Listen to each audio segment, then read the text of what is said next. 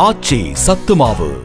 ஆச்சி சத்துமாவு. ஒன்னு வாங்கினா இன்னொன்னு ஃப்ரீ சேலம் அரசு மருத்துவக் கல்லூரி மருத்துவமனையில் கொரோனா பரிசோதனை நிலைய ஊழியருக்கு கொரோனா தொற்று உறுதி செய்யப்பட்டிருப்பதால் பரிசோதனை நிலையம் மூடப்பட்டிருக்கிறது. சேலம் நாமக்கல் தருமபுரி உள்ளிட்ட ஐந்து மாவட்டங்கள் மக்கள் கடுமையாக பாதிக்கப்பட்டிருக்கிறார்கள். கூடுதல் விவரங்களோடு நம்முடைய செய்தியாளர் ரியாஸ் இணைந்திருக்கிறார். அவரிடம் பேசலாம். ரியாஸ் என்ன மாதிரியான பாதிப்புகளை இந்த ஐந்து மாவட்ட மக்கள் சந்திச்சிருக்கிறாங்க?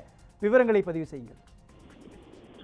மரியரீகன் தமிழகத்தை பொறுத்த வரைக்கும் இந்த கொரோனா தொற்று உள்ளதா என்பது குறித்தான பரிசோதனை நிலையங்கள் சென்னை கோயம்புத்தூர் அதே போல மதுரை சேலம் உள்ளிட்ட மாவட்டங்களில் தான் அதிக அளவில் நடைபெற்று வருகிறது. இந்த மாவட்டங்களில் ஜோனல் தலைமையாக கொண்டு அங்கிருந்து அரசு தலைமை மருத்துவமனைகள்ல கொரோனா தொற்று உள்ளதா என்பது குறித்தான பரிசோதனையானது நடைபெற்று வருகிறது. இதே போல் சேலம் அரசு மோகன் குமாரமங்கலம் மருத்துவமனையில் உள்ள வைரஸ் பரிசோதனை கூட்டத்தில் தினமும் இரண்டாயிரத்துக்கும் மேற்பட்டோருக்கு வைரஸ் பரிசோதனையானது நடைபெற்று வருகிறது. கொரோனா தொற்று பரவல் ஏற்பட்டிலிருந்து இதுவரை ஒரு லட்சத்தி இரண்டாயிரத்தி அறுநூத்தி அறுபத்தி ஒரு நபர்களுக்கு தொற்று உள்ளதா என்பது குறித்தான பரிசோதனைகள் இங்கு நடைபெற்றுள்ளது. தமிழகத்திலேயே சென்னை மதுரைக்கு அடுத்தபடியாக சேலத்தில் தான் நாள்தோறும் கொரோனா தொற்று பரிசோதனைகள் அதிக அளவில் இங்கு செய்யப்பட்டு வருகிறது. இந்த பரிசோதனை கூடத்தில் ஐம்பதுக்கும் மேற்பட்ட பணியாளர்கள் பணியாற்றி வருகின்றனர். மூன்று ஷிப்டுகள் முறையில் பணியாற்றி வரும் இவர்களுக்கு கவச உடை அணிந்து இவர்கள் பணியாற்றி வந்த நிலையில் இங்கு பணியாற்றக்கூடிய லேப் டெக்னீஷியன் பெண் ஒருவருக்கு கொரோனா தொற்று உறுதியானது. இதனை அடுத்து அவர் சேலம் அரசு மோகன்குமாரமங்கலம் மருத்துவமனையில் சிகிச்சைக்காக அனுமதிக்கப்பட்டார். இதனை அடுத்து இந்த இந்த பரிசோதனை நிலையத்தை தற்காலிகமாக மூட மருத்துவமனையினுடைய முதல்வர் பாலாஜிநாதன் உத்தரவிட்டுள்ளார். அதன் அடிப்படையில் இந்த மருத்துவமனை இன்று மூடப்பட்டது.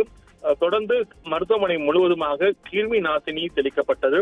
வழக்கமாக இந்த ஷிப்டுகள் அடிப்படையில் இங்கு ஊழியர்கள் பணியாற்றி வந்துட்டு இருக்காங்க தற்போது லேப் டெக்னீஷியன் ஒருவருக்கு உறுதியானதால் இன்று காலை முதல் பனிரெண்டு மணி நேரம் வரை அந்த கொரோனா பரிசோதனை நிலையத்தை வந்து மூடி இருக்க தற்போது மூடப்பட்டுள்ளது.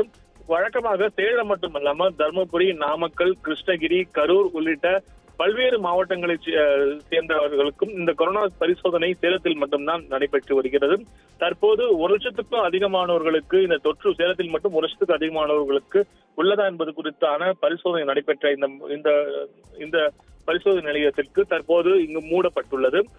தற்போது இந்த- இந்த பனிரெண்டு மணி நேரத்துக்கு எந்த ஒரு பரிசோதனையும் நடைபெறாது என்றும் அறிவிக்கப்பட்டுள்ளது. தற்போது பல்வேறு மா- மற்ற மாவட்டங்களில் இருந்து இந்த கொரோனா தொற்று உள்ளதா என்பது குறித்தான பரிசோதனையும் தற்போது நடைபெறவில்லை. நேற்று சேலத்தில் எடுக்கப்பட்ட சாம்பிள்ஸ்க்கான பரிசோதனையும் நடைபெறவில்லை.